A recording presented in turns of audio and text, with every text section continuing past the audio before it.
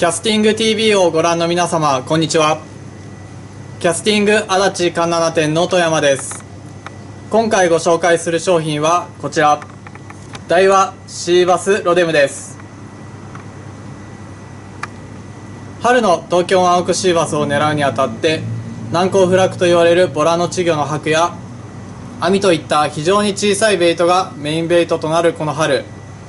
通常のプラグではなかなか口を使ってくれないシーバスが多くなります。そこで出番なのがこういったジグヘッドワームになります。ハードプラグでは出ない柔らかい波動がマイクロベイトや先行者の多いハイプレッシャーエリアのシーバスに効果的です。2020年春に登場しましたシーバスロデムはすでに発売されているフラットジャンキーモデルをベースにワームの小型化とワーム自体の姿勢が水平姿勢で泳ぐことが特徴的でさらにこのシャットテール部分の動きは大きすぎずシーバスに好む微波動が出る動きとなっていますので擦れたシーバスやマイクロベイトを捕食しているシーバスに効果的です。